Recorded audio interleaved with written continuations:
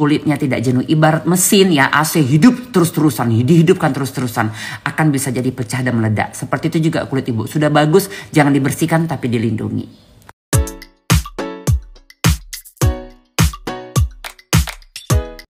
Hai untuk masuk ke satu edukasi yang sangat luar biasa ya. Udah baca, dibaca dulu uh, apa ya maksudnya ya konsulan dari ibu di sebelah.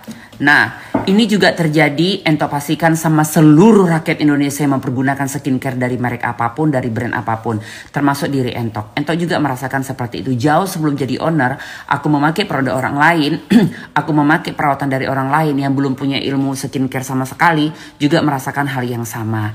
Nah, setelah Entok pelajari di diri aku sendiri dan aku uh, apa ya maksudnya ya eksperimen, es, apa nama Iqbal? Eksperimen ya bereksperimen dengan dengan diri aku sendiri, ternyata kulit kita itu bukan hanya membutuhkan skincare saja.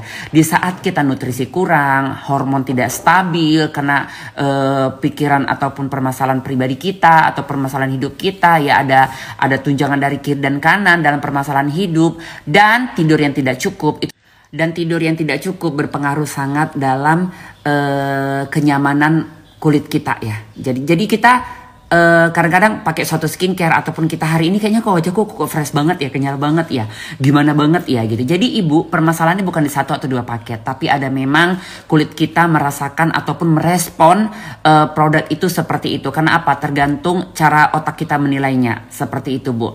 Dan ibu membandingkannya seperti apa gitu. Jadi yang penting kita harus punya pemikiran yang seperti ini bu. Yang penting ya kulit aku tidak tidak hancur, tidak perih, tidak panas, tidak ngelupas, itu yang sangat terpenting ibu. Kalau grit level ataupun kecerahan wajah itu memang berganti setiap hari ibu. Entok pastikan semua seperti itu. Contoh, wajah entok kayaknya lebih nyaman yang semalam dibandingkan hari ini. Karena semalam aku tidurnya lebih baik, lebih benar ya.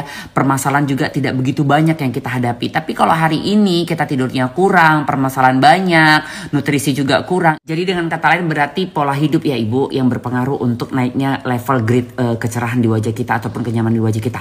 Dan yang kedua, Ibu, yang harus Ibu ketahui adalah kita juga harus bisa membaca tubuh kita. Kita membaca kulit kita. Itu gunanya jangan mempergunakan skincare kalau sudah mendapatkan hasil yang maksimal. Contohnya seperti ini. Jangan salah kaprah dulu dalam pembicaraan entong ini. Jadi kok misalnya wajah Ibu kok sudah Ibu merasakan saat bagus tuh, udah cerah, sudah segala macam. Jangan krem pembersihan itu dipakai siang dan malam terus ataupun dipakai terus menerus. Jadi kalimat resisten bukan hanya ada pada obat ataupun antibiotik ataupun apa. Di skincare juga ibu. Jadi kalau ibu sudah merasakan wajahnya baik, wajahnya sudah cerah, nah gunanya trik dari Ratu Entok adalah mengkelang, ya, mensilang. Jadi seperti itu. Jadi kok sudah nyaman ibu, biasa ibu pakai siang dan malam tuh krem tuh in.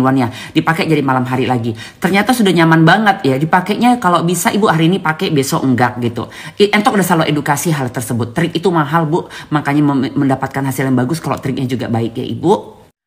Juga tidur tidak, tidak, tidak tiap hari pakai krim malam. Jadi hari ini cuci muka ya pakai toner tidur. Hari ini cuci muka pakai toner pakai krim malamnya. Hari ini tidur cuci muka pakai serumnya atau krim malamnya tidak. Jadi hari ini tidur grebek nggak pakai apa-apa ya setelah cuci muka. Jadi ada saatnya kita bisa membaca diri kita sendiri. Jangan berpatokan kepada owner, kepada dokter. Karena nggak semua edukasi yang baik itu bisa nyaman sama kulit kita.